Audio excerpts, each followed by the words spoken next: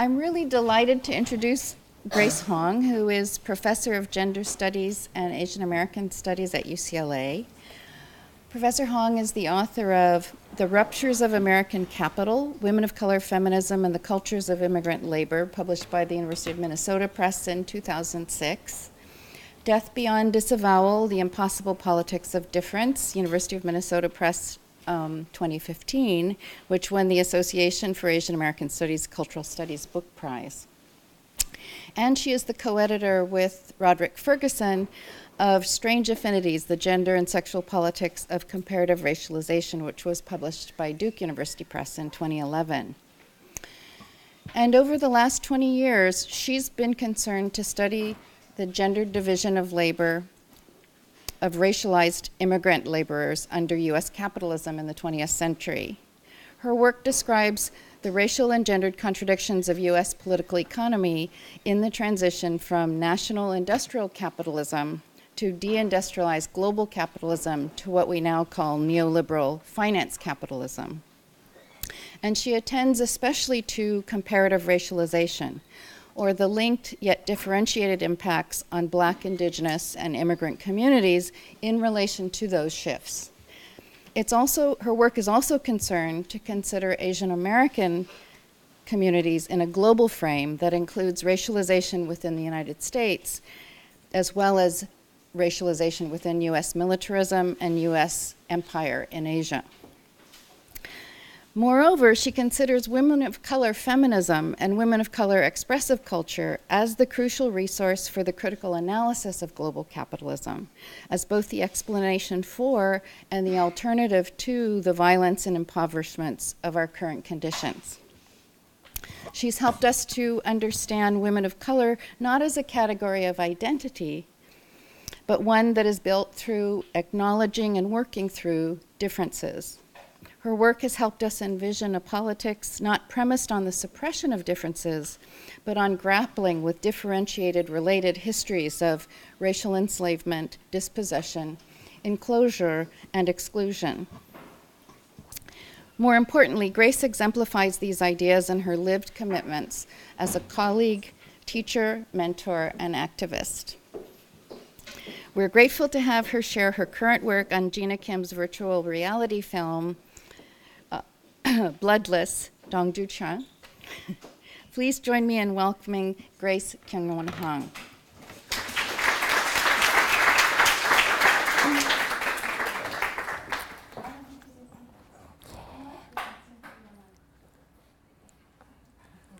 Um, so is this on now?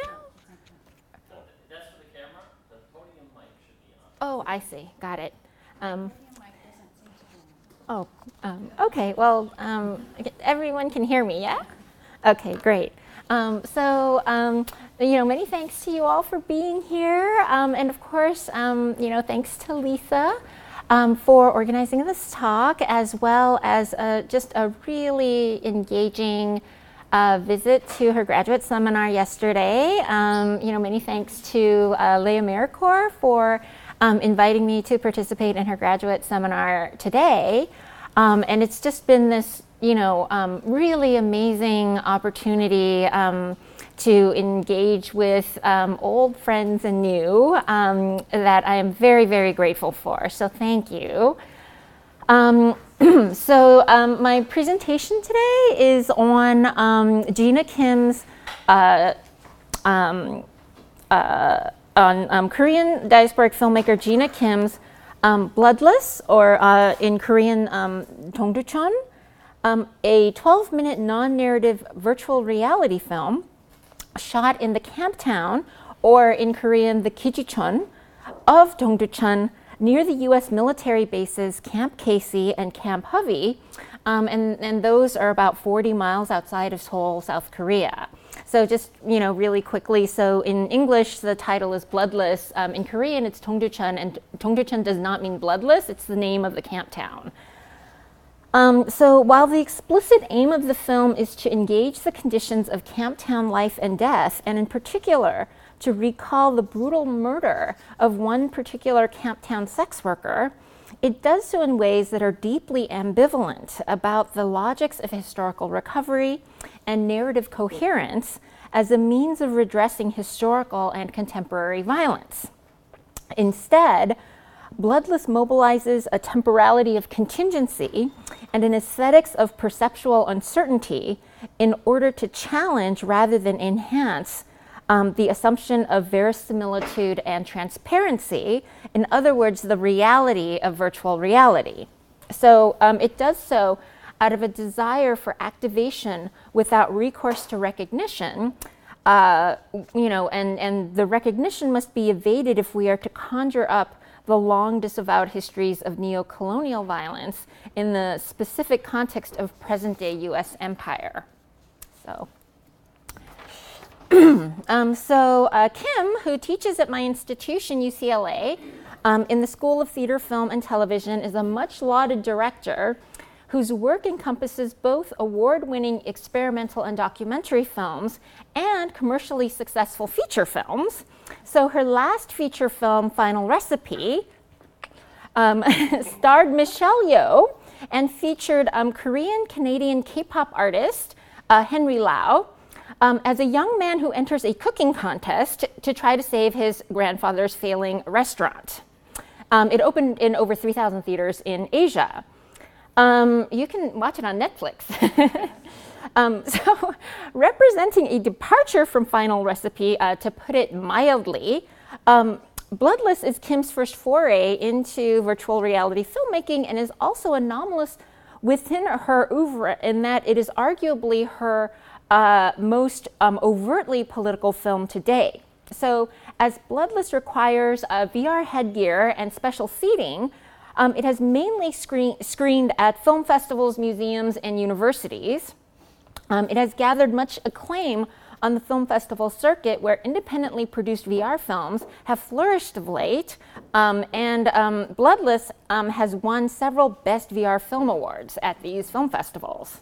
It also screened at the Seoul International Women's Film Festival in the summer of 2018, where um, uh, wh- which was the first time it reached a largely South Korean viewership. So, um, Bloodless is a hybrid film that blends together documentary and fictionalized elements in order to depict the last hours of the life of Yoon Kumi, um, a sex worker in Dongducheon who was tortured, raped, and murdered in 1992 um, by Kenneth Lee Markle, um, a U.S. Army medic. Because of the extreme brutality of the crime, alongside a growing culture of social protest in the wake of the student democracy movements against military dictatorship, which, uh, which, which ushered in a transition into democratic governance in 1987, Yun's murder sparked a sustained campaign that led to the subsequent arrest and trial of her murderer.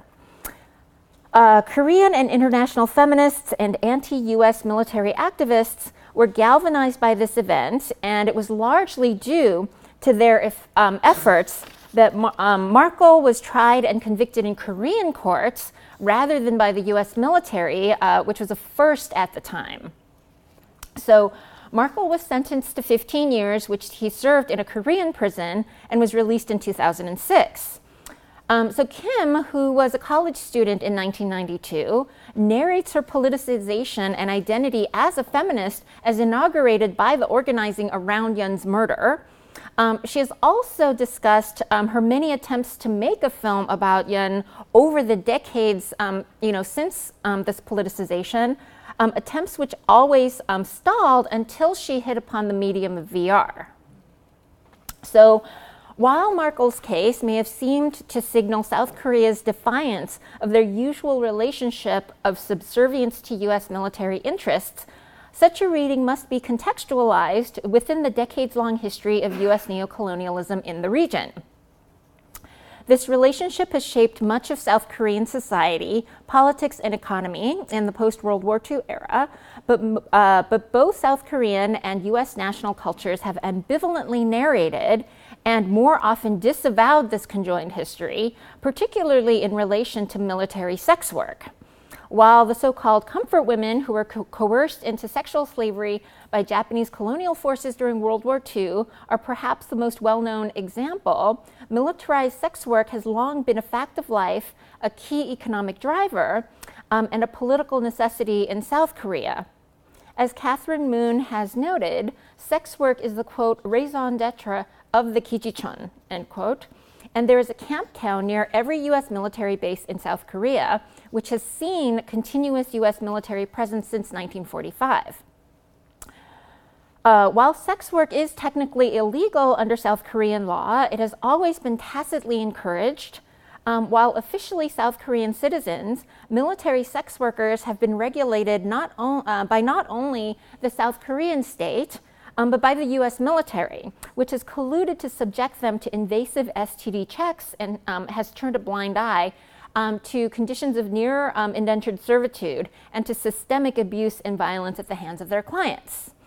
Um, as such, Jodi Kim has argued that the uh, camp town is a deathly space, one in which overlapping sovereignties, South Korean and US, create a necropolitical state of precarity protected by neither state that thus leaves residents constantly vulnerable to death. The Camptown sex worker, necessary but disavowed, was for a long time unable to be murdered or mourned because her life was never protectable in the first place. So, this is a historical backdrop to Yun's case, which was unusual not because Camptown sex workers um, had previously not been subjected to extreme violence, but because there was such widespread outrage about what had um, been by that point a decades long situation ignored or excused by both the populace at large um, and by the South Korean state. While Yun's death uh, became what Grace Cho calls, quote, a transnational macro spectacle, end quote. She writes that its atypical hypervisibility provides no more agency to Yun, nor does it give us um, any more access to her than does the invisibility um, of the uncountable unmourned. Cho refuses to frame the widespread recognition of Yun's murder through a redemptive narrative of justice um, brought about, you know, for example, by the South Korean state's, you know, successful conviction and punishment of Markle. At the same time, Cho also refuses to foreclose the possibilities of other more inchoate manifestations of agency. For Cho, Yun's death um, is a form of spectral haunting.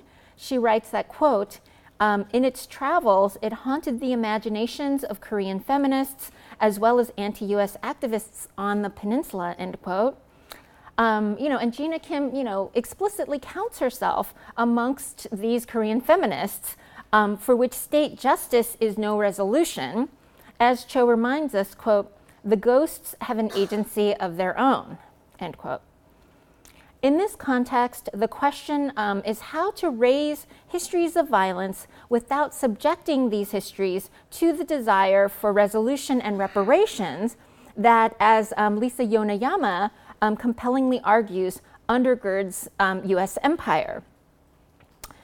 Um, so, um, you know, haunting is perhaps the only adequate rejoinder to the particularities of a specifically neoliberal manifestation of US empire, in which an imperial self critique ends up legitimating rather than undermining its imperial ambitions.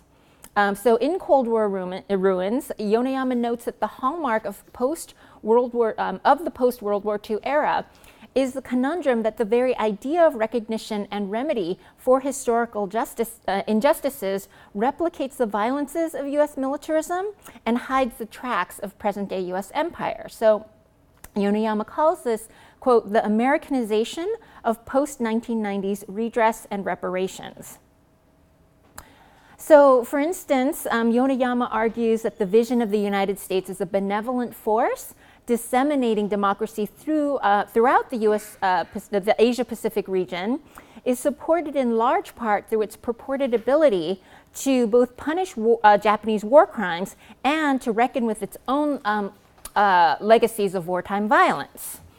So, um, likewise, Nida Tanasaki observes the ways in which cinematic and literary narratives of the Vietnam War encouraged US um, audiences to understand themselves and US foreign policy uh, by extension as moral precisely because they engaged in self critique of the violence and devastation wrought on Vietnamese lives. Thus, the very notion that the violence of war can be redressed um, is itself an important aspect of US post war hegemony. Um, what we'll find in Bloodless, however, is that in the realm of the haunted and the ghostly, recognition or redress are deeply irrelevant. As such, um, Bloodless refuses recognition, um, and it does so um, that um, through um, the mobilization of aesthetics and form that departs from VR's conventional applications. Uh, these conventional applications have been, um, in a twist of appropriate irony, innovated by the US military. So while we uh, may more readily associate VR technology with gaming, uh, the earliest driver of virtual reality technology development was the US military. So the U.S. Uh, uh, so the U.S. military developed VR for use um, uh, as train in training simulations, um, and um, as uh, um, and as therapies uh, for veterans suffering from PTSD. Um, so, in other words, uh, before and after actual insertion in war. So, the military's use of VR technologies in both contexts, um, and in particular uh, its um, uh, emphasis on um, the importance of um, VR's verisimilitude um, has been fertile ground for its self narration as ethical and humanitarian. Um, so, um, and, and so this is um, an example of the therapeutic uses of VR. This is, um, uh, which I'll talk about in a, in a second. so, all right. Um, an early VR innovator and the main producer of VR technologies for use by the military is the Institute for Creative Technologies, ICT, at the University of Southern California, um, an elite private school located across town from my institution. Um, ICT was founded in 1999. So, I mean, you think about like 1999, that was like so early for VR, right? Um, through a $45 million grant um, from the US Department of Defense the DoD. Um, so, international security theorist James Der Derian identifies the establishment of ICT as the inauguration of what he calls the um, quote military industrial media entertainment network end quote. To which I'd add the university as a non-institution, uh, non-incidental institutional partner. Um, and, and, he has this really interesting sort of um, theorization of the ways in which, you know, um, LA was really important because of um, access to sort of media industries, um, which was necessary for, you know, doing all this VR work.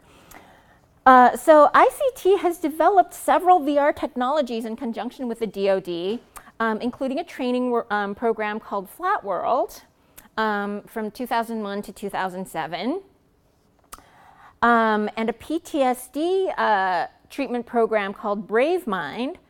Um, 2005 uh, to, to, uh, to, the present, it's um, actually still being used, um, which has created. Um, uh, so, Bravemind is the project um, which uh, created the VR exposure based treatment program called Virtual Iraq, and then later renamed Virtual Iraq and Afghanistan, which are just like, and then like virtual Syria, virtual Yemen. I mean, you just can just keep going on and on and on. So, um, so uh, okay. In any case, um, so these early VR projects, Flat World and Bravemind, engage temporalities um, of. Um, oops, let me go back engage temporalities of resolution and the aesthetics of verisimilitude to advance individual, individuated biologistic, decontextualized, and ahistorical definitions of agency and trauma, and in so doing, replicated the notion of the military as a humanitarian and ethical endeavor.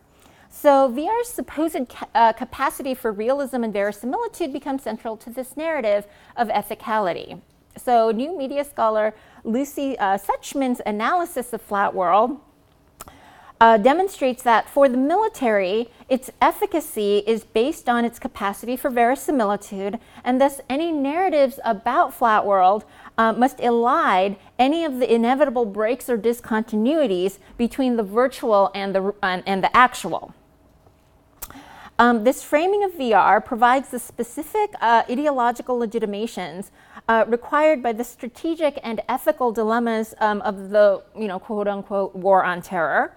That is, as commonly observed, the war on terror is not fought in conventional ways, you know, with a clear battlefield on which two forces confront each other, um, but is um, instead fought through occupation and insurgency.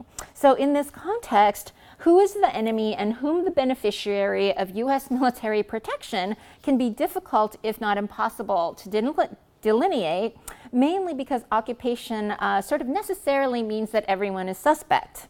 So the use of VR technologies allows the military to obfuscate this condition by asserting the possibility um, of discerning between enemy and ally.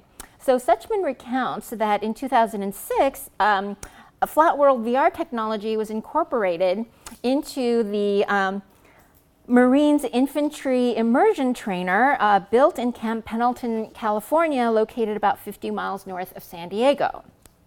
So um, the IIT was a hybrid installation which mixed built environments, live action actors, um, and VR technologies to quote unquote fully immerse pre deployment Marines in a reconstructed Iraqi village in order to present them with ostensibly hyper realistic combat situations. So, Marines uh, performed house searches under conditions that mimicked um, the noise, smell, heat, and chaos of combat and were presented with scenarios um, involving figures marked as insurgents as opposed to those uh, marked as civilians, that is, women and children, uh, during which they were called upon to make snap decisions about uh, when to fire and whom to fire upon. So, um, it, you know, it's obviously kind of the gamification of this kind of training, which is, um, you know, really interesting to think about also.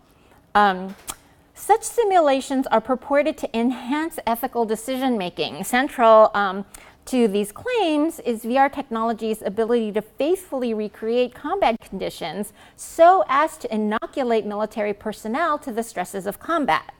So Suchman observes that despite the many lapses in VR technology that undermined the suspension of disbelief, um, you know, and it was in 2006, and you know, like obviously the VR doesn't look that great. um, as well as the inherent contradictions of a training that purported simultaneously to, quote, sharpen combat instincts and reinforce ethical conduct, end quote. So, despite all of these lapses, both uh, the command structure and the Marines who participated in the trainings emphasized IIT's fidelity to field conditions as a signal of its effectiveness.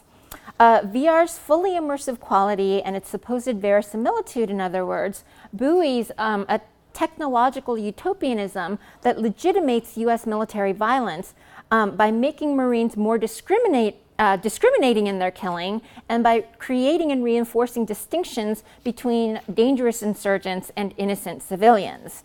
So, put um, another way, in implying that Flat World and IIT can produce ethical soldiers, it re- uh, represents the moral failings of war um, as limited to individual mistakes of judgments rather than as a fundamental condition of war itself.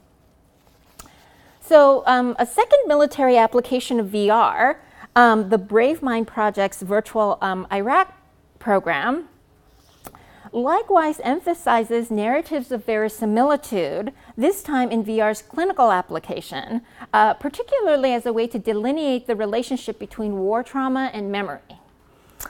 So, Virtual Iraq uh, began as uh, recycled visual and graphic elements from a simulation training program, much like Flat World.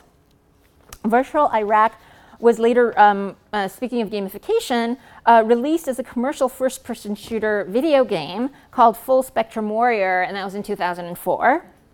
Um, so, Virtual Iraq is a PTSD treatment protocol um, that replicates traumatic events experienced by military personnel uh, suffering from this clinical condition um, that has uh, been called, quote, a disorder of time.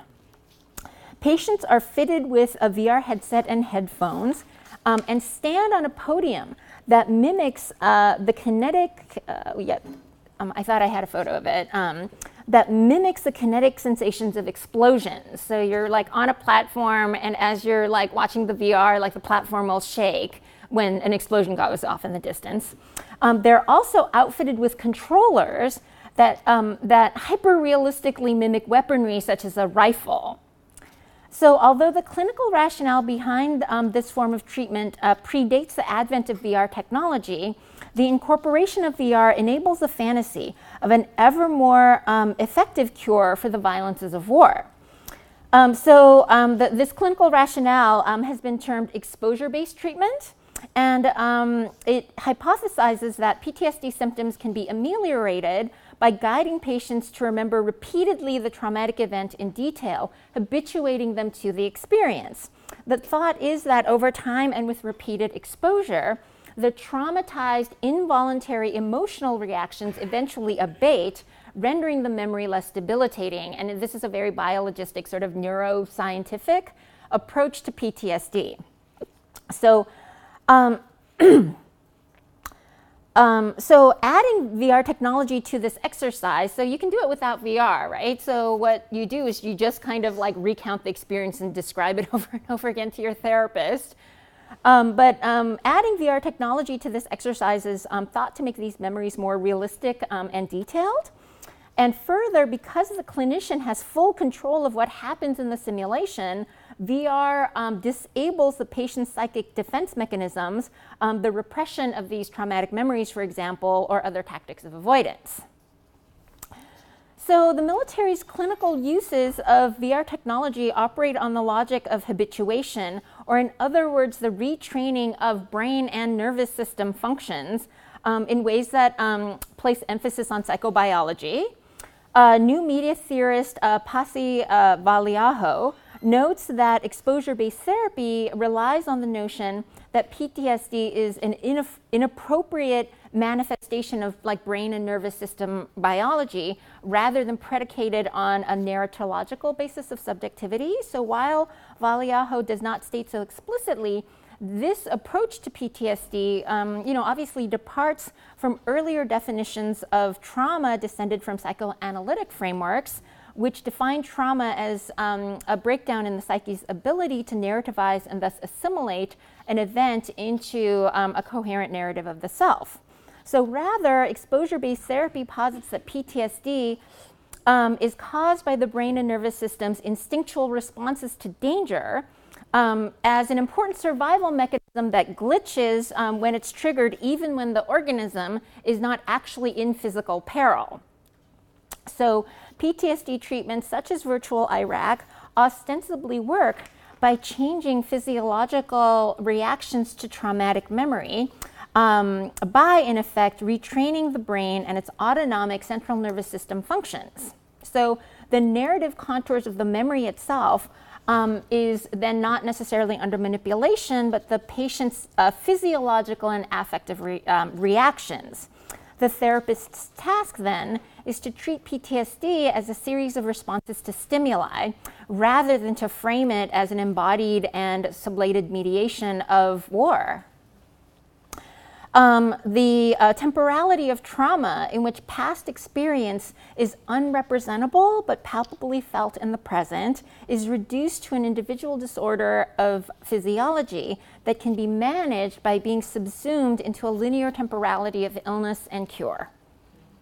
So, while Valiaho is critical of these, you know, VR uses of technology, he re, uh, he uh, replicates the decontextualization and bio, bio, biologicization inherent to medical discourses in that he uncritically takes up the notion that VR operates simply um, on the brain and nervous system. Uh, with the actual sort of content of these images, much less the context being somewhat in, irre- irrelevant.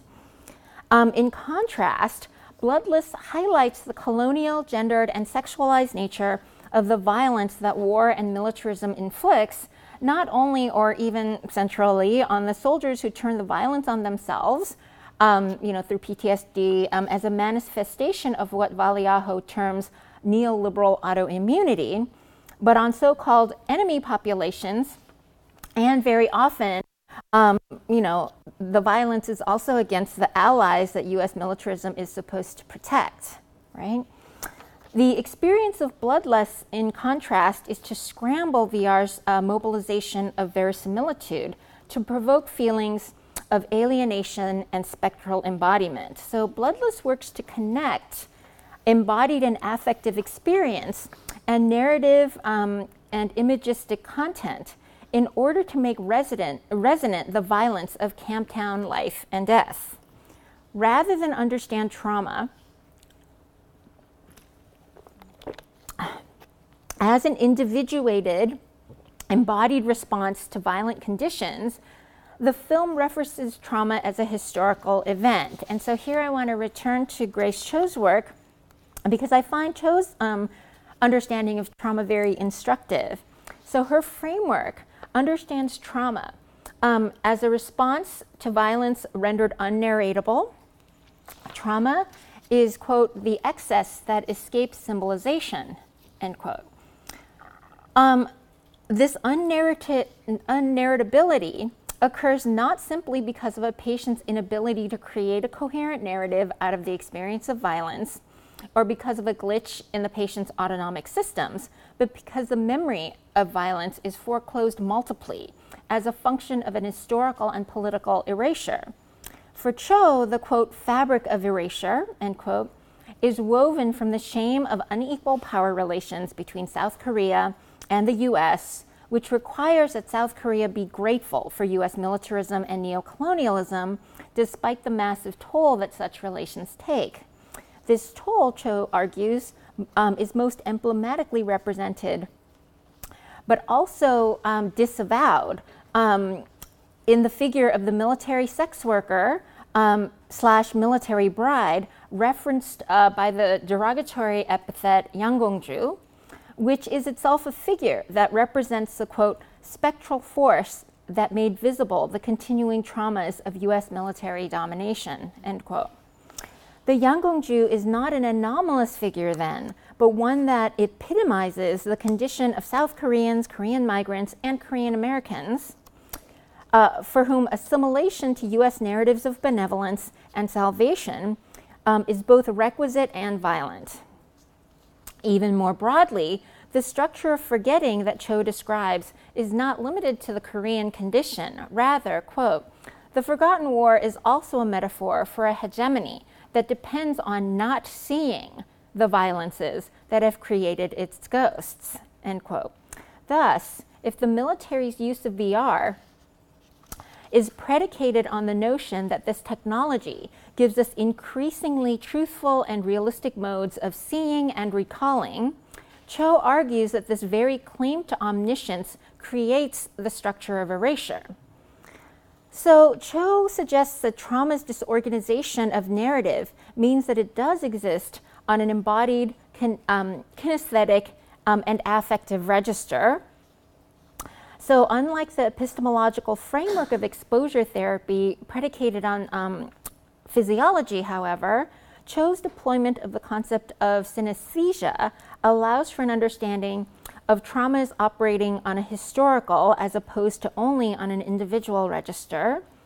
Um, Cho writes, quote, when the subject cannot speak her own history, when history is um, unintelligible or made unintelligible, who or what speaks for her. The thing that cannot directly be spoken becomes the phantom that works like a ventriloquist, like a stranger within the subject's own mental topography, end quote. So uh, when Cho references, you know, the subject who cannot speak her own history, she is in part referencing the Yanggongju, um, the Camptown sex worker. So in the case of Bloodless, that would be, you know, kind of literally Yun However, if we take Cho's argument that the Yanggongju is a figure for all those who wrestle um, with this hegemony that depends on not seeing the violences that have created its ghosts, um, all those who are foreclosed from knowing the past because of the erasures of the present, we might also think of the filmmaker and the viewer as likewise animated or haunted by these traumas of historical violence. So, Um, so um, I'm going to show the Bloodless um, trailer, um, but um, I want to sort of um, put a caveat. So unlike you know regular film, you know VR film, like you can't just clip it and show it. Obviously, right? You need the whole like setup. Um, so the only thing I can show you is this trailer, but this trailer is very non-representative because it's not even a clip, right? It's a trailer. Um, and so um, it has uh, music um, on it, which the film does not have, um, and it's sort of just these clips. But at least you can sort of sort of see the general aesthetic and, and the kind of um, evocative nature of this film. So.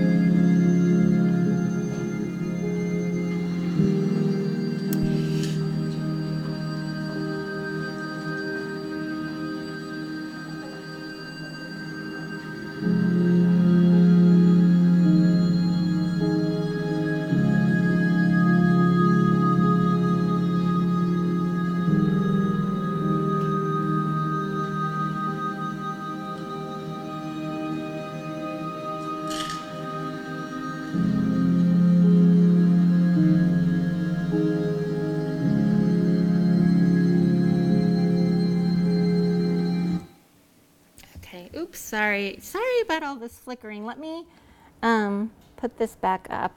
Um, so I wonder actually if I can, I'm sorry, get it to just be in that spot where um, we can see her face. Yeah, there we go. Oh, I keep missing it. Oh, okay. You know what? Let me just not um, fuss with it. um, uh, so, um, okay, so, um, so uh, bloodless disorganizes any sense of a progressive temporality of resolution and undermines the suspension of disbelief that enables um, the presence of um, uh, the pretense of verisimilitude. So uh, Bloodless begins with shots of the actual camp town of Dongducheon, which is like still an active camp town, uh, in daylight.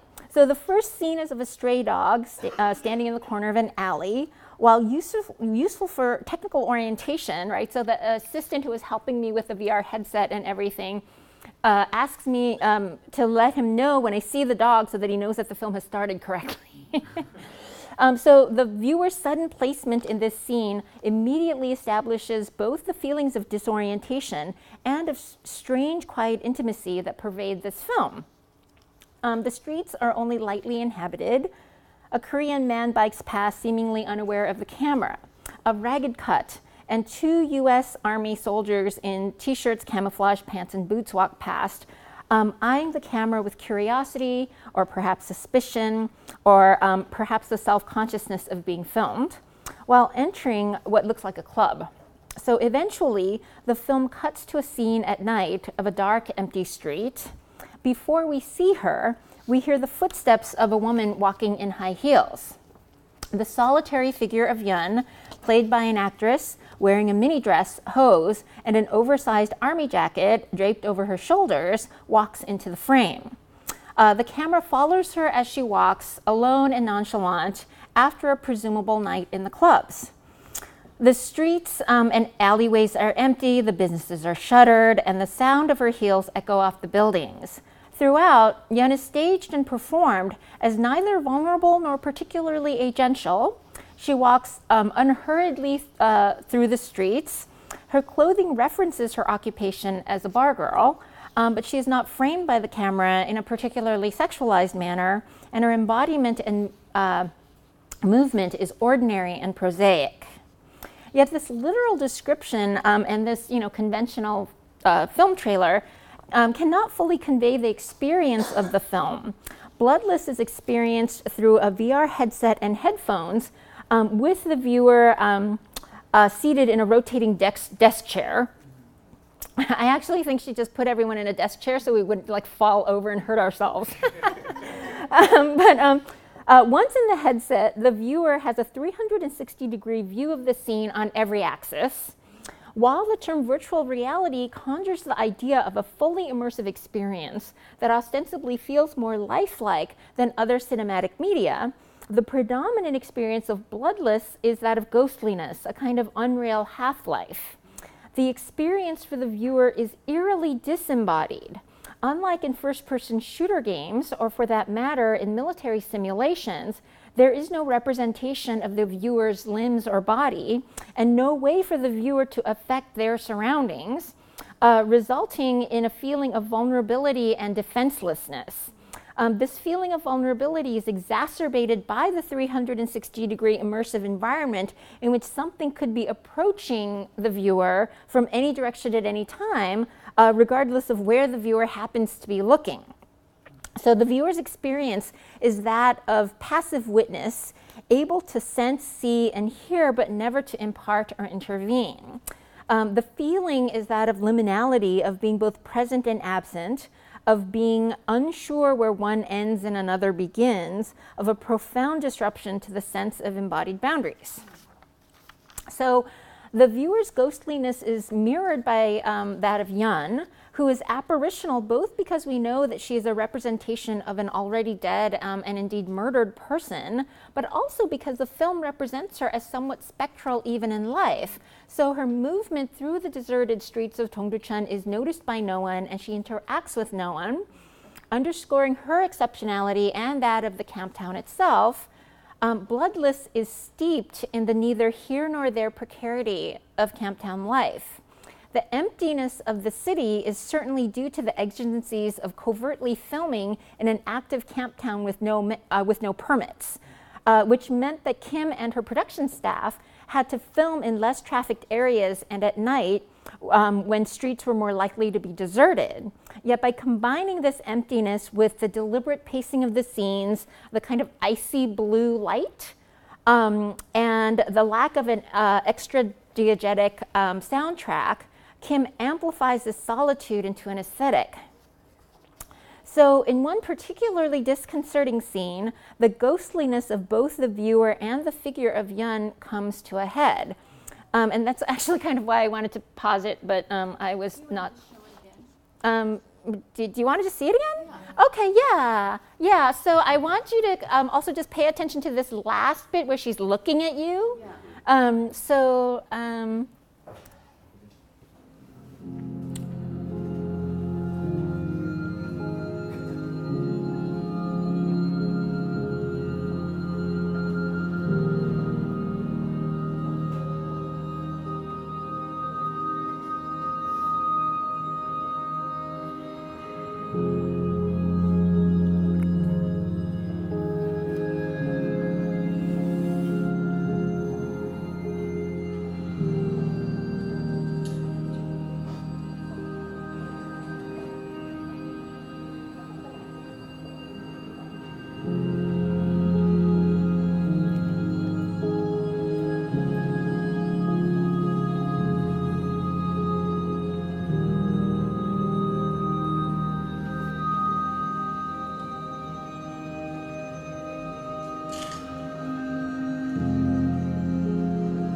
Okay, so let me just stop it right there um, because this, this uh, I'm going to talk about this part right now. it's so interesting.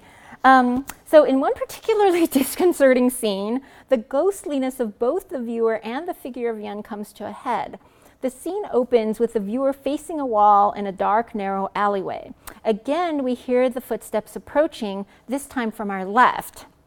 Yun's figure then emerges from the dark, approaching the viewer until she has stopped and is staring at or possibly through the viewer with a serious, unreadable expression on her face, like this expression right here, right? Um, so, um, you know, this, this expression is so interesting, you know, because um, it's like, you know, it, it, it's so unre- it's like, is it accusatory? Is it, you know, um, anyway.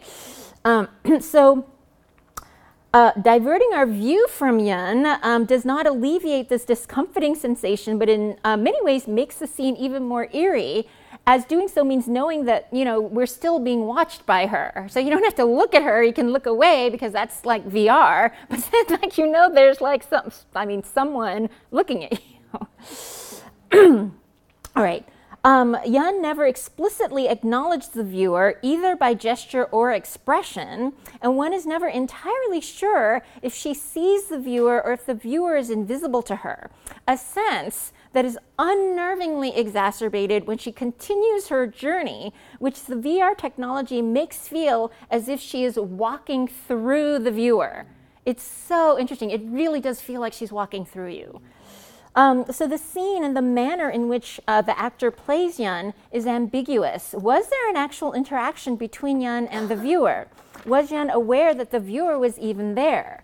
Uh, or was the encounter accidental and coincidental, a situation in which the viewer, ghostly um, and apparitional, happened to be in her path?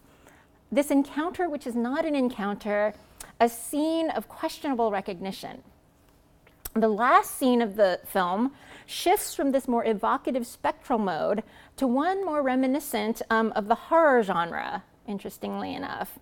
Um, a jump cut finds the viewer in Yun's motel room, a cramped yellowing space. Um, all we um, see at first are the cracks in the walls and a discolored linoleum covered floor, seemingly empty but for Yun's oversized jacket hanging in a corner, a bag of sodas, a full length mirror propped in one corner, and a crumpled blanket strewn along one wall. Footsteps that we now recognize um, as Yun's approach the door from the street and eventually stop right outside, but no one enters. Gradually, depending on when and whether it happens to catch the eye. Blood seeps from underneath the blanket, pooling slowly toward where our feet would be. Several beats later, but again, um, depending on when and whether it catches the eye, the dead and violated figure of Yun, crumpled next to the blanket, appears in the reflection in the mirror, but not in the room itself. So the feeling of this scene um, may be akin to those summoned by the conventions of a horror film, a sense of vulnerability, of creeping ominous danger, interrupted by a sudden gruesome shock. At the same time, um, this scene operates on a temporality of contingency because it is entirely possible that the viewer may never have seen Yun's body at all, depending on where the viewer happens to be looking when, when, that, when the body appears in the mirror. And in fact, um, one of the people that I went to see this um, screening with didn't realize until afterwards when um, I and um, you know the third person that I went to see this screening with um, were talking about, oh my God, the body in the mirror. And she said, the what in the what? and she had missed it completely. Yeah. So, um, so um, that the shock of seeing Yun's body is exacerbated, exacerbated by the viewer's realization that one's own movements and decisions um, affected exactly when and whether one saw the image, and that there may actually uh, be no shock, actually, um, because of this condition, destabilizes the ethics of witnessing. So bloodless throws, thus throws into crisis the idea that VR enhances ethical decision making. Instead, ethical indeterminacy is the main effect of the film. Uh, so who the viewer is in Bloodless um, is and what our role might be is raised but never answered. Structured by a temporality of contingency rather than resolution, the film explicitly troubles rather than assumes or enhances verisimilitude. It emphasizes rather than undermines the incommensurability of the physical and the virtual. Ghostliness in this film is an embodied feeling as well as a theme, um, triggering a, a feeling of perceptual indeterminacy um, Bloodless attests that trauma is historical memory, manifests in embodied and affective ways, yet suggested, uh, suggests that this manifestation is e- uneven, uncertain, and hardly predictable. So, in so doing, Bloodless gestured to other embodiments, other possibilities, beyond the terrors of killing in the, in the guise of justice. Thank you.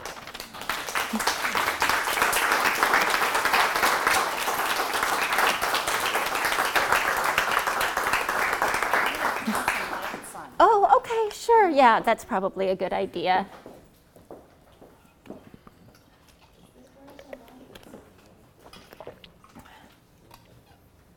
Okay.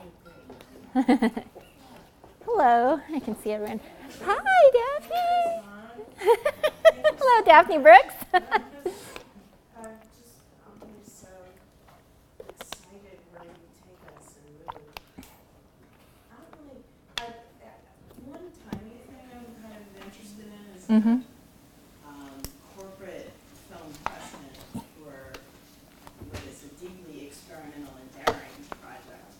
you- Say, say the first part. The corporate film precedent, so. Yeah. Thinking of like Kathryn Bigelow's um, Strange Days. Mm-hmm. Really a kind of virtual apocalypse, Mhm. dystopian Mm. um, interrogations of neoliberal life, and use that kind of destabilizing, Mm-hmm. um, Mhm. shifted, ruptured perspective. Yeah. Very, very new. Yeah. Reality. Yeah. Technologies. Um, that's not really a question. I'm just kind of interested in like, hmm, Mhm. what's going on in the 90s Yeah. with, with that, and how does that shift when you move it out of a corporate film structure to this? Or, or not, Or not. maybe, Okay. actually. You know, so uh, yesterday um, after the graduate seminar, I was sort of talking to some of the grad students, and um, you know, this is the thing about this film, right? Which is that, you know, when you make an argument about something, you're like making an argument, but I, I still have a lot of feelings about this film that are very unresolved, right? And, um, it- you know, and then um, the fact that, you know, I know Gina, and then she's like a friend of mine and a colleague, and, you know, um, that makes it so that I don't you know, like being hypercritical of a film that's made by a friend of yours is also a little bit fraught, you know, and and and, and it's not like I would be hypercritical of this film, but you know, um, what's really interesting about this film is that you know, and the way that Gina presents this film is that like it's it's very at the same time like you know, so it's won a bunch of awards in like a kind of like elite film festival circuit, right? And these sort of elite, you know, pretty white you know, um, film festival audiences like love this film, right? The South Korean folks at the South Korean Women's Film Festival also really liked the film. She was really nervous about it, and she was like, "Oh my God, what if they hate it?" But they really like responded well to it. So, um, and then, you know, um, and I, as I said, you know, Gina is like. Like a commercial filmmaker, right? Like she's actually working on TV right now because she doesn't want to travel too much. And she's like, I teach in LA, so I'm going to work on TV. Um, and the way she represents this film is she's just like, like parts, of, like parts of it are just like, yeah, you know, I sort of didn't want this to be like a kind of memorialization of her. I wanted to destabilize things, but then she's also like, oh, it's so great that this is going to get circulation because it's going to really raise awareness. you know? So there's something implicit that I would love for you to draw out. Absolutely. Great. You're ex- I, I wasn't even going there, but I'm fascinated by that. Mhm. I'm really, I just was curious to hear you talk more about the trailer and the tensions between the trailer and the film itself. And Mhm. especially, um, can you just um, reiterate, there's no music in the film? No, no, it's very kind of, you know, like basically the only sound you hear are her footsteps. Yeah, yeah. So of course there's no dialogue. She's sort of alone. Um, I'm trying to remember now if like the dog barks or anything, you know, at the beginning. And now um, I can't, I can't remember. I need to pay more attention to that the next time I see this film. But anyway, it's very, it's, it's very like that. There's, and the, this music is not at all. Um, Without occupying the floor any longer, I'm just kind of, I'm interested in how that um, mass circulation ad for the film, especially with regards to the music, is doing a particular kind of affective work that speaks to the publics that you're about, the- film festival publics, mhm. just how we sort of understand and how it's been commodified, this whole narrative through the trailer. Yeah, yeah. Um, so I mean, I don't know how mass the circulation this trailer is actually, because you know, it's it's a, it's like a 12-minute vo- vo- virtual reality like sort of niche film, you know. So it's uh, uh, there's and there's um, but but certainly you know more people have seen this trailer um, than have seen the VR film, you know. Um, so um, and um, yeah, I mean, in a lot of ways, um, you know, the the um, trailer, um, you know, uh, like I think what's interesting about the trailer is that it doesn't prepare you at all for watching the movie in a good way, you know. So yeah, yeah. I mean, and it it's not like I'm saying that it's somehow. I mean, in terms of the mood that it evokes, I think it's very, you know, resonant. Like if if the film were to have music, it would be this music. You know what I mean? That's the this music is the feeling of the film. You know. Um, but yeah, yeah, yeah. Let me just move the discussion a little bit. Um, I thought this was such a beautiful reading of the form and the um, apparatus, as well as the representation in relationship to its origins of production as a military technology, Mhm. and um, the way in which it um, skews temporality, skews the formation of the so-called ethical decision of whether to shoot or not, Mhm. and um, displaces and reorients that. Mm. Um, what I what I wanted to ask you to do more was to Sure. talk about how it change I, changes verisimilitude, and maybe it's because I don't know so much about virtual reality. Mhm. Is it a hyper verisimilitude or or You know what? I mean, for me, I think the way that it challenges verisimilitude is that you're just so ghostly. You know, it's that disembodied feeling. I see. I see. right? Um, because um, you know, I, I mean, there's sort of this way in which you're like, "Wow, I'm in Dongducheon," but like, the continual sensation of being disembodied. yeah, is so disconcerting. Like, it's really hard to explain if you're not in it, you know. Um, and and there's something, and and you know, there are other like a lot of virtual reality things are kind of disembodied in that way because it's just a lot easier to make VR films that don't have representations of people's bodies, you know, and that aren't um, interactive right? Um, but um, I think there's something about um, the pacing and the mood and the lighting and and um, the, the abrupt kind of you know cuts from scene to scene that you're constantly feeling a little bit disoriented, and that sort of produces this feeling of vulnerability that like makes that disembodiment feel really palpable, right? So um, so um, you know, for me, um, you know, uh, the fact that you can kind of look around and see everything uh, didn't actually uh, result in the feeling of like, gee, I'm really there. It was the feeling of like, oh my God, I'm kind of half there. Do I exist? Do I not exist? Like, who am I? yeah. So I think that would be my main, you know. No, the spectrality comes across even in this. Oh, for sure, right? Yeah. Yeah.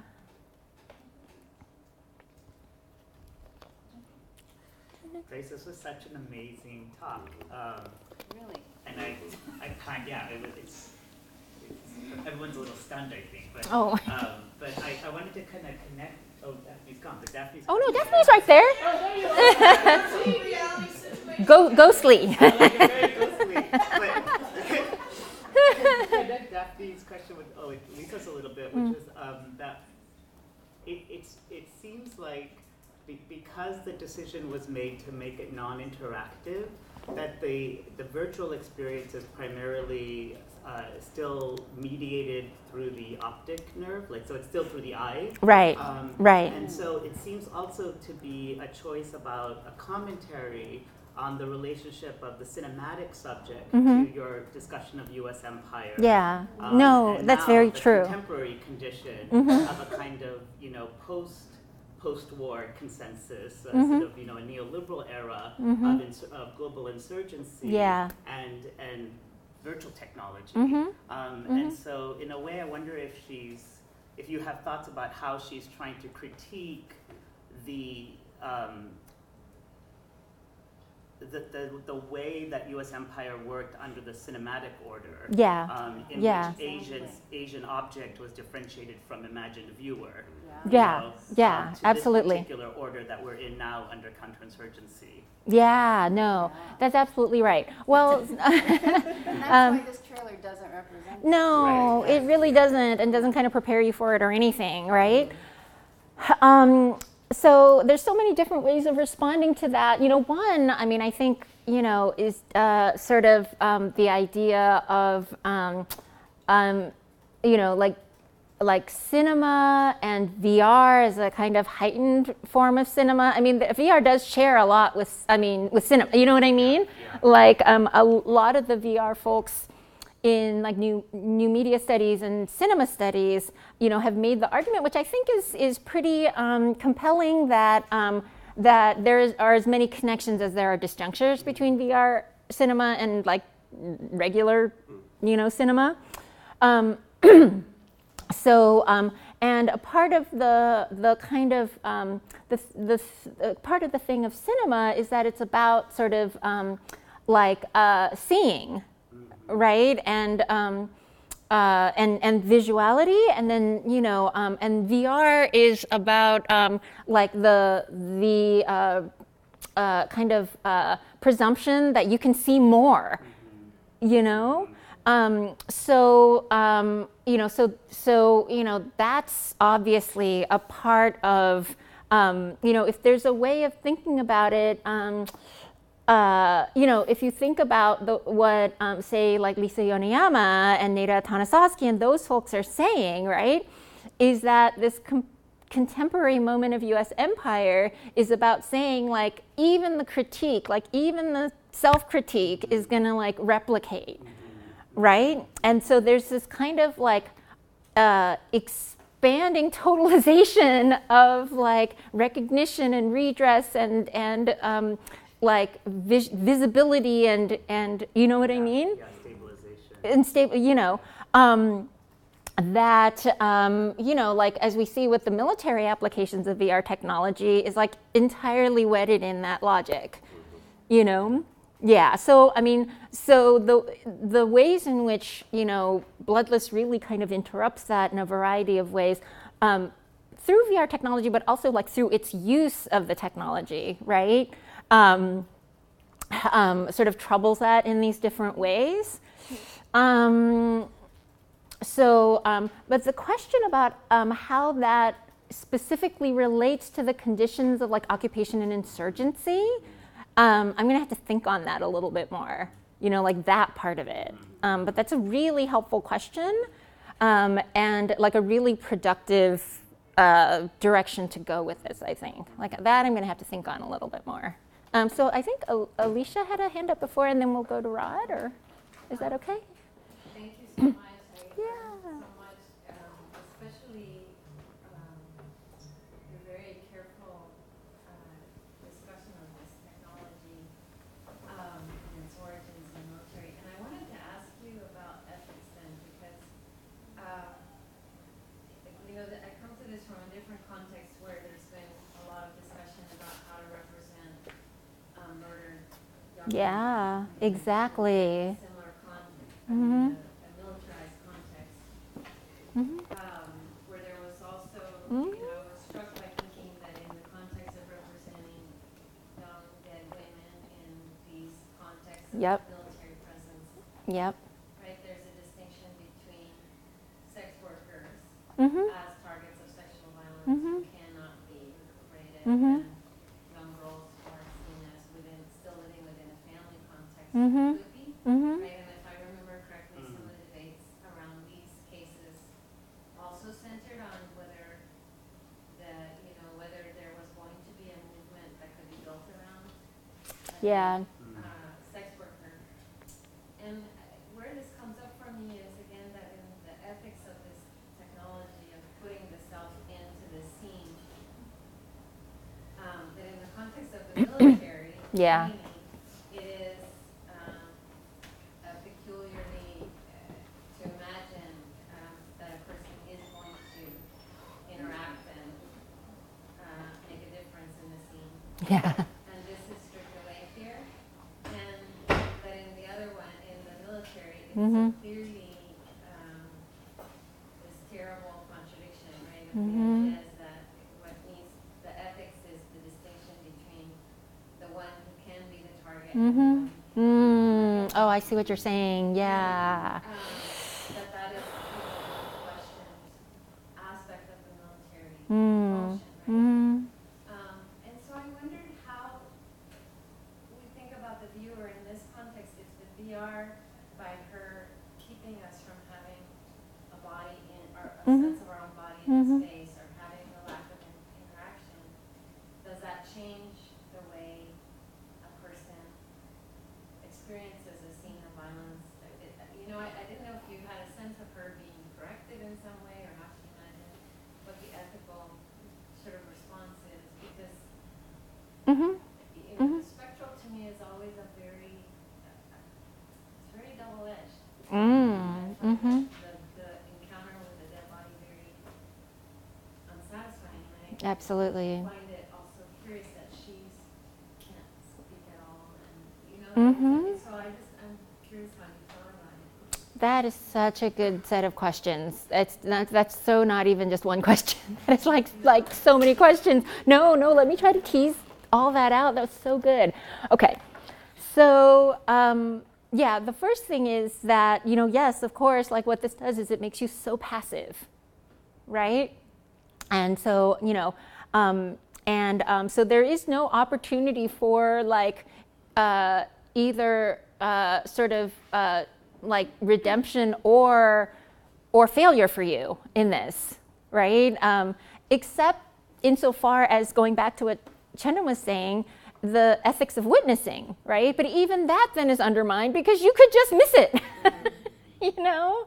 So I think a part of what that is doing is sort of saying, um, you know, it's just like, it's just like, it's just not it's indeterminate, it's contingent, it's contingent, it's like the temporalities of contingency, you know, and that there is no kind of um, uh, like, you know, pure sort of moment of ethical. you know. So, one thing, right, that I think this particular scene um, does when she kind of walks through you, right, and you're not sure what have you, is um, that it makes it so that it's really clear that you and she cannot interact, right? And because a number of people have asked um, about this who haven't seen this, like, well, could you be the killer? Like, could you be in the the figure of the killer? And you kind of can't, right? Because like, if you were the killer, why would she walk through you? You know what I mean? Um, so, but but there's sort of this way in which the the idea that you're the killer and so you are put in that position and you can feel that guilt and feel complicit and whatever that is a kind of ethical kind of figuration of a subject where it's just like oh then you can feel bad and re- be like we're all complicit in the in the exploitation of sex workers who you know there's that there can be that moment and this film won't let you do that right? Um, so, um, uh, so, uh, um, you know, so, so there's that, you know. Um, so, I mean, I think um, this is also like the the interesting and sort of weird thing about this film that I haven't hundred percent made up my mind on, no matter how like sort of like, you know, in in the in the sort of structure of a presentation, I'm just like, this is what I think about this film, but there's lots of things about the film I like still don't know what I think about. and that is sort of about like um, about like the function of ethics in this film, right? So I kind of tend to feel like what it's primarily doing is just making you question, right? Like like uh, like what what kind of ethical subject you can be or you can you know what kind of ethical subjectivity you can have you know um, but you know um, but um, t- please No, no th- i was going to go on to this other thing and so also maybe it's that, I, don't know what I think about this either, but maybe Mhm. it's not possible with the virtual reality technology that's produced by the military hmm to have it prescribe an ethics. Yeah. No absolutely. Absolutely right? Um, um, and so you know and and you know that's part of why she's like well i'm using this t- technology to kind of you know. This the other thing about this that's so interesting um, and god i should i should talk about this um, is that um, so you know one of the things that i don't um, uh, well okay um, so uh, one of the things that um, that is, um, like I said, kind of unusual about Yun Gumi is that, um, you know, she wasn't the sort of good daughter, right? Um, even though in, in a lot of ways the narrative tried to make her be that after it, you know, it got, um, but but it just became this huge hyper visible thing that like just you know, and it was like a major big deal, right? Um, so you know, I said that um, the title of the film is. Um, uh, you know, bloodless in English, but the title of the film in Korean is Dongducheon, which is the actual name of the camp town, right? And, um, and you know, that's because like Dongducheon means something in South Korea. Like people know what that means in part because of Yun Gumi, right? Um, so, I mean, uh, and also it's just this huge camp town and, you know, it's just like kind of a fact of life, but, you know, so, um, so there is that. Um, and so that's really interesting to see. And what Cho and other folks have said is just like, well, you know, um, the, the fact that South Korea, uh, there was this huge sort of mobilization around um, Yun, you know, doesn't necessarily mean that South Korea has somehow, you know, uh, like escaped like sort of, you know, U.S. neocolonial sort of pressure, whatever. It, it's just a convergence of different kinds of things, right? The, the thing that I was going to talk about though was, um, you know, one of the things that I'm not 100% uh, sure about how I feel is that, uh, uh, that her, this like sort of dead and violated body is represented at all, right? I mean, and it's in the mirror, and you could maybe not say whatever, but it's there, right? And that's a huge conversation that has been had in a lot of different contexts. And um, I tend to be myself of the um, of the perspective of sort of like uh, not representing that. Like, so for example, one of the things that I deliberately don't do in this presentation and you know is describe how she was tortured and raped and violated right? Because it was pretty uh, graph like and if you read about her um, not cho but other people who have written about her are pretty graphic right about and um, and from the beginning i was just like yeah no i'm not going to do that right? So the and um, so there's sort of this way in which you know gina uh, uh, having made this decision to represent this uh, this kind of battered body, right, is one of those moments where I'm just like, oh, Gina, what were you doing, right? But on the other hand, this is the part that's so interesting, and you know, help me with this. Um, so what had happened was, because this was sort of this whole thing, there were these photographs, right, of um, the motel room and her body and whatnot that circulated everywhere, right? In newspapers and what have you. And Gina was um, a part of a group of Korean and Korean diasporic feminists who, uh, like, basically worked to get that scrubbed.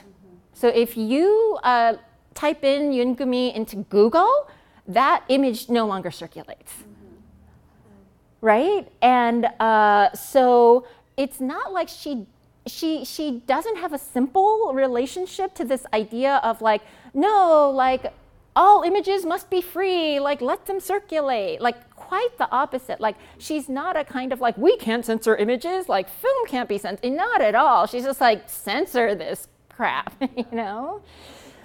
So um so um you know so that the sort of representation of her in the film, right? Um, I don't know. It's it's complicated, right? Um, and that's all I actually have. That's as far as I've gotten in terms of theorization. Like it's complicated. yeah, it's it's in, it's interesting though. Um, so Rod, did you have a Yeah, hand sure. before, and then Um, Kimberly? You know, one of the things that's so interesting to me is that not the film, but the military use of VR tries to recover the ground as the site of ethical um, you know, war. And what's so interesting about that is I used to teach this book called um, The Dream of Civilized Warfare about the World War I flying aces. Mm, mm. And the reason the book argues that the Flying Aces came into being is because there was a battle in World War One um, where the bodies were just, you know, you know, uh, the dead were just massive, in massive numbers, Mm-hmm. and the carnage was so graphic that they, the military decided to take war to the air. Um, and through that, construct the idea of the gentleman warrior, you know, who could produce a clean war, right? And so you would just have aerial war. Um, and, you know, of course, the Vietnam War um, disrupted all of that. Yeah.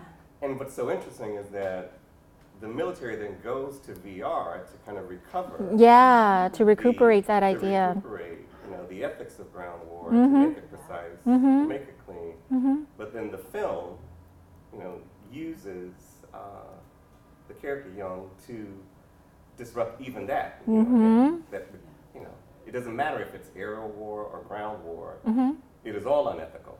Yeah, no, basically, and and you know, and also, I mean, um, you know, Katharine Moon's um, Katharine Moon's uh, book is called um, "Sex Among Allies," right? Um, and it's like, so that's also this thing that this does, which is like, you know, a U.S. Army medic, right? A medic, right? Who is in like his job is ostensibly to like save people's lives, right? Um, kills this kills this woman really brutally, right? And in that um, and in that sort of like you know training simulation, right? Like she's the ally, right? She's not the enemy, right? And so this this context is very much about yeah, like how the the violence of militarism like does not um, discriminate actually right? Like exactly in that way right? Like the iits like you know we can train you to be really good at this and it's just like no you don't even have to be you know what i mean? Like yeah. Yeah. Um, uh, so thank you. I will look at that book. Um, kimberly and then leah so much for this talk. It's really rich. Um, the question that I have is about you said that Kim attempted to produce this film several times. yes So what was she thinking about before the VR? I'm assuming that VR wasn't a part of that. no no Okay. so yeah Was she thinking along the lines of just a, like a short film? you know It's about the same length, but No, you know, she um, she said that she tried like multiple times. Like she would try, and, like, and she would she's uh, uh, you know I can't remember hundred percent. She was just like she was like maybe I'll do a documentary. You know, maybe I'll write a feature film, right? Maybe I'll you know. And she said she kept trying and just just completely kept not being able to do it. And then she was just like, and then I thought VR, and then I was just able to do it. Yeah, like she found out about VR, figured out how to do VR, like super cheap, right? She uh, strapped like 10 GoPro cameras onto a pole, right? Um, and then filmed everything. Um, and then filming took two weeks, but post production, stitching it all together, took like months. Yeah. So, yeah. Yeah. So so it she tried for for decades, right? Like because you know this was this happened when she was in college, right? And then she kind of became a filmmaker and made all these lots of films. Um, and throughout, she just kept wanting to make a project about this. Um, and she just kind of found that they all stalled out. And then she's just like, well, what about VR? And then it just happened. That's how she represents it. Yeah, yeah. Yeah. Oh, I, I- it's kind of related to this question of form, but first, thank you so much. Sure. Um, eh, I, I'm just kind of curious about some of her aesthetic choices. Mm-hmm. The lighting, the especially green, a kind of green lighting. Mm-hmm. Um, and the, I didn't realize she was using GoPros. Mm-hmm. So eh, has she talked a little bit, and can you talk a little bit more about some of the aesthetic choices? Kind of going back to Alicia's question in terms of how that intersects with maybe the ethics of.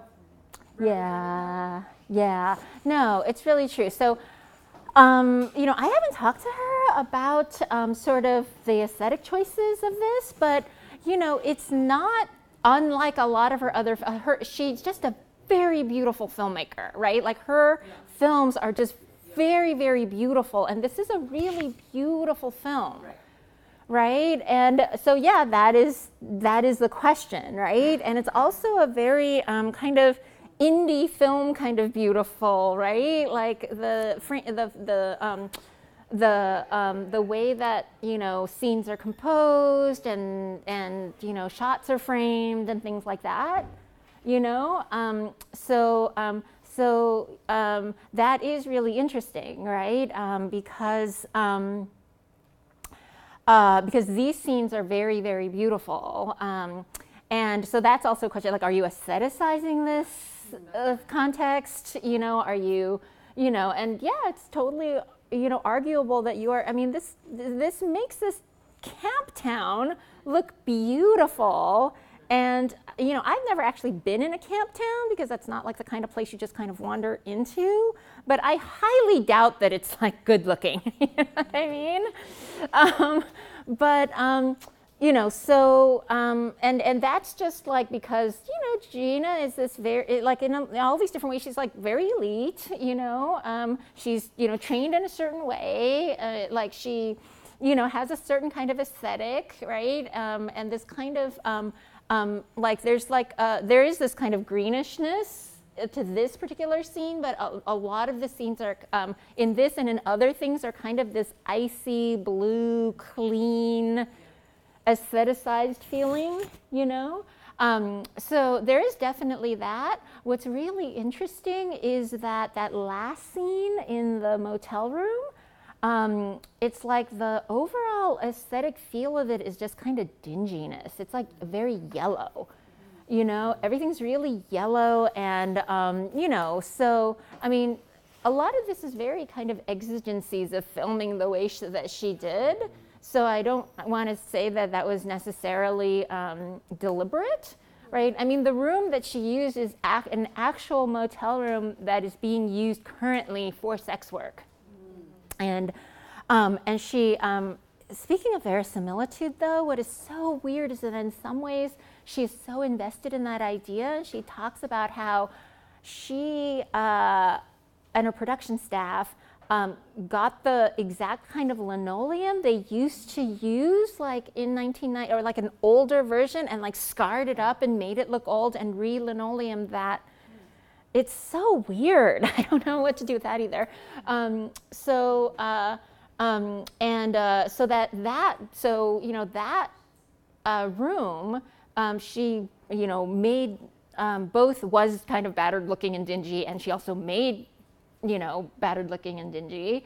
Um, and then the lighting, I imagine, was not 100% in her control, you know. Um, so, um, so that is, you know, uh, much less aestheticized than, or in a different way than this right? Um, so, um, so yeah, there are lots of things about that. You know, the, there are lots of things about this film, and that's I think a part of why um, I'm interested in looking at it. Um, that you know can sort of cannot be sort of read as like yeah sticking it to the man or whatever you know um, for lack of a better term I have to come up with a better term than that you know what I mean yeah yeah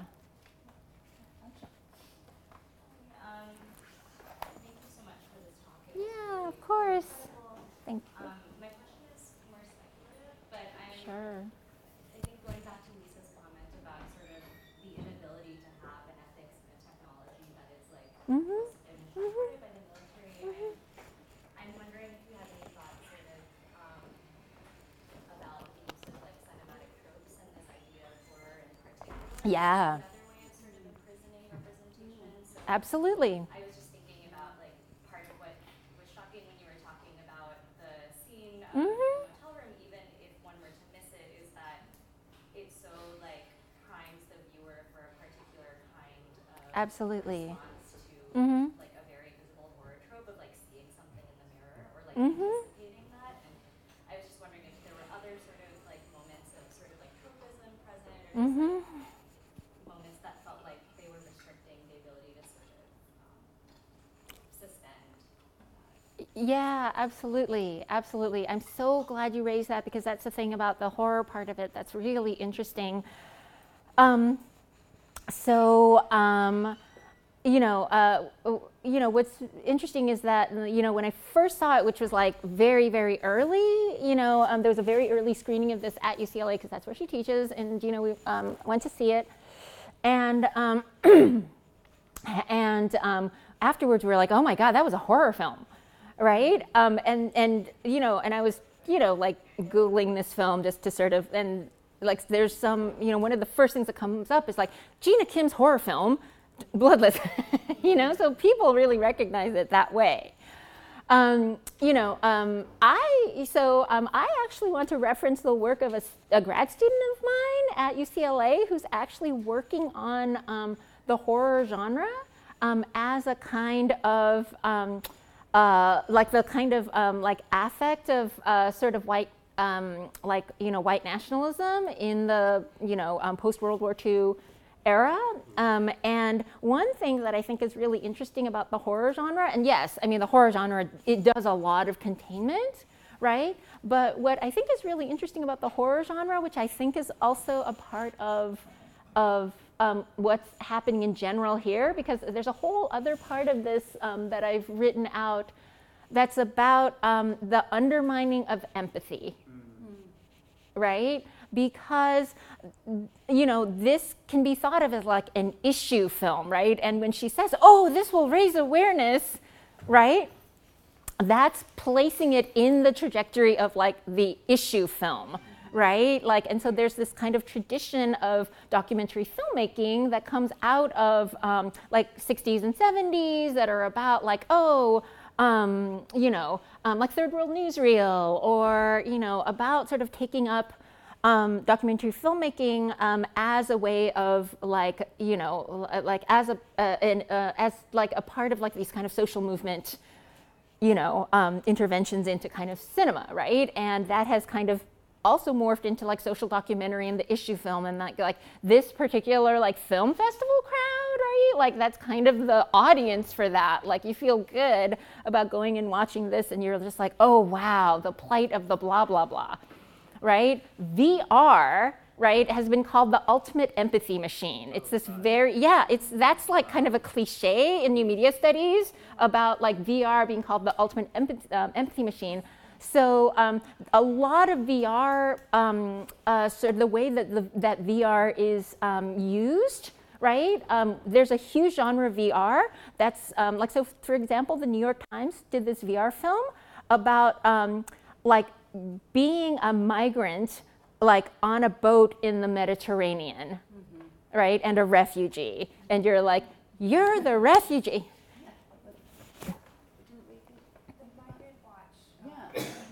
Mm, yeah, yeah. So that, that's like a whole genre of film, right? Um, so um, uh, and especially VR film. So there's this military application, there's the gaming application. In some ways, like I don't know, maybe it's just me, but I feel like the gaming applications are so, some of the like least interesting, um, even though it's like some of the biggest. And then there's like this whole kind of like appar- educational apparatus, you know, uh, sort of you know genre of VR film, and that's entirely operating on empathy right? The idea of VR is the ultimate empathy machine. Like you're going to go, oh my gosh, there was a VR film about uh, being um, uh, uh, so much about migrants and refugees, like crossing the US Mexico border, like in the desert, right?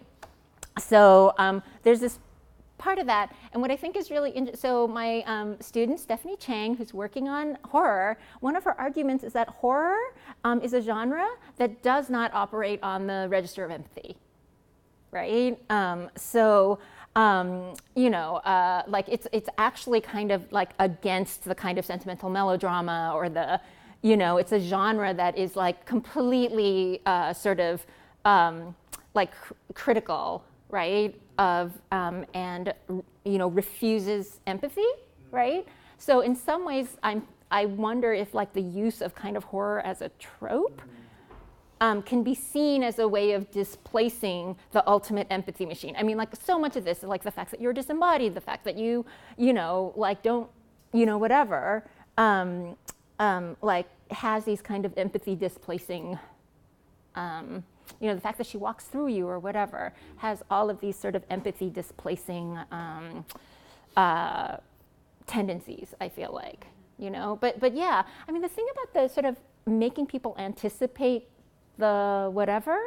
Um, I mean, there is definitely that, but then there's also the fact that you can totally just miss it. You know, so, and it's really hard to write about because it's like it, even on the sentence level where you're like, it does this, but it might not. you know? So anyway. Um, mhm.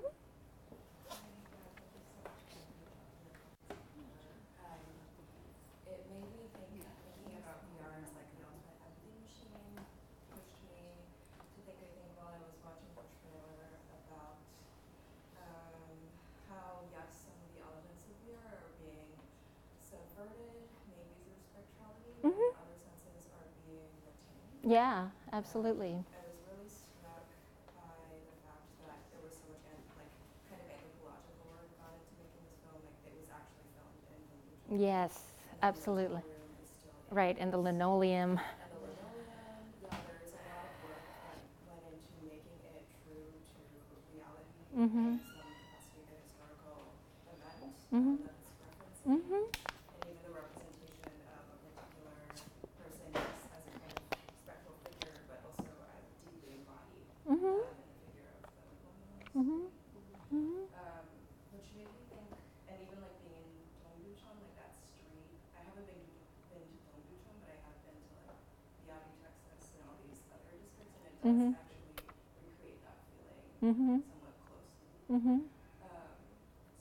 like yeah, I was interested in who, because this film also circulated in all these like film festivals. Mhm.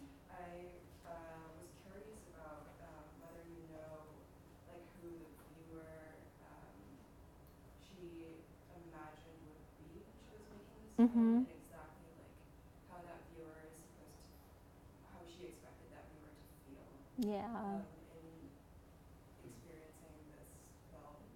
Does that make sense? Yeah. There's that thing you were saying about like it's it gets you sort of like half there.